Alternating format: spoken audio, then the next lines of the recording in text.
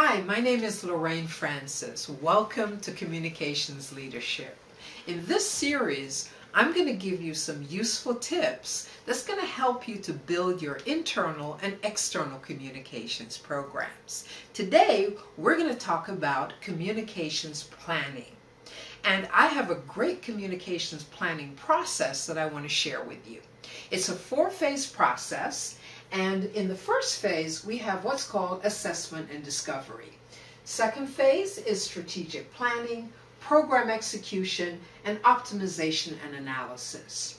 Let me walk you briefly through the four phases. In phase one, in assessment and discovery, uh, you have to make sure that you're setting goals.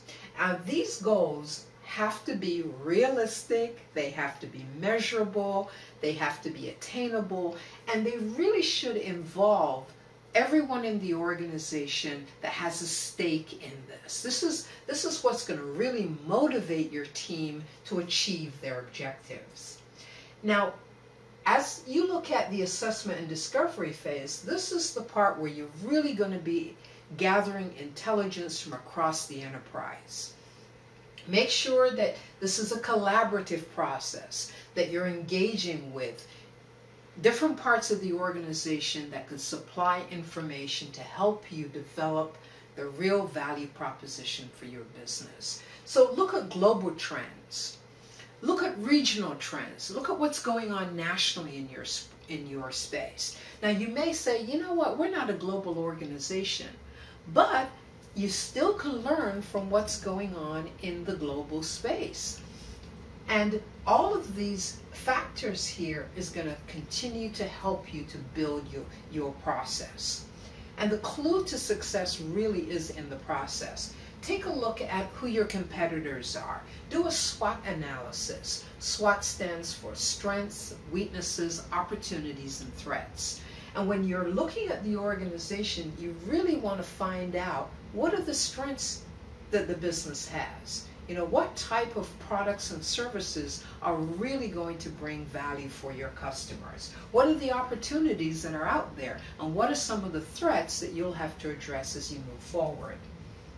Media analysis, another crucial part of the assessment process, because today we have social media and there is so much going on in social media whether it's twitter or facebook or whichever social media platform uh, that your business is engaged in make sure that you find out what customers are saying about your business.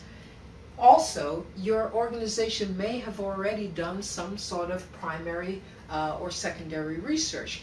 Gather the data from across the enterprise and that will allow you to make uh, some decisions when it comes to uh, putting together benefits and a real value proposition for the customers. In the strategic planning phase, this allows you to start looking at the various business segments, whether it's the business to business uh, segment, whether you're in the B2B space or B2C space. Uh, take a look at your markets uh, really focus in on who your target audiences are, whether you're looking at Generation X, the millennials, or whether you're looking at a more senior audience or, or, or a younger audience. This is the, the part of the process that really begins to narrow the focus on the markets and on your type of customers. In the third phase, you're looking at uh, moving into the program execution phase. Now, here you really begin to start thinking about what is our market strategy? What's our strategy to go to market? And from, from looking at the, the strategic uh, marketing uh, plan, you're able to now think about what are the tactics that we need to have in place in order to achieve our strategic goal.